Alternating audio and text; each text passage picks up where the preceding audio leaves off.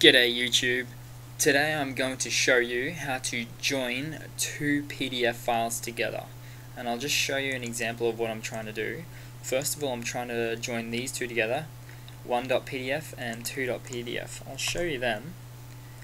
Here we go. This is a single page, and it's just one page. And the second one, this is another single page, and that's number two, which is just one page, of course. Now what you have to do is go to your terminal and install a program called PDFTK. I'll type that in. So type in sudo apt-get install PDFTK and press enter. Throw in your password. Mine's already installed so that's fine. So I will start with a clean slate now. I'll type in clear, enter, and I'll show you what to do to join these two together. So type in pdftk. Actually, sorry, no. First, you have to navigate to the folder that you want to go to.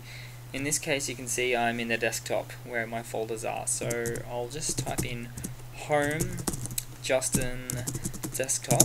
Great, now I'm there in the bash prompt. Okay, now from that point, type in pdftk, then the number or sorry, the file name of each of them, PDF, then 2.pdf,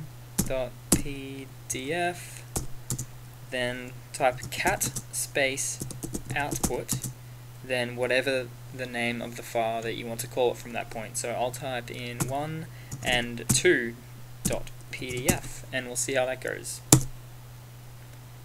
Boom, there we go. I'll just open that to verify. There we go. This is a single page.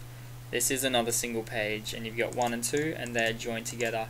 You can do that with as little or as many PDF files as you want and yeah, it doesn't matter how many files or pages are in the PDF file to begin with either. Okay, great. Hope that helps. If you've got any questions, just give me a buzz. Cheers.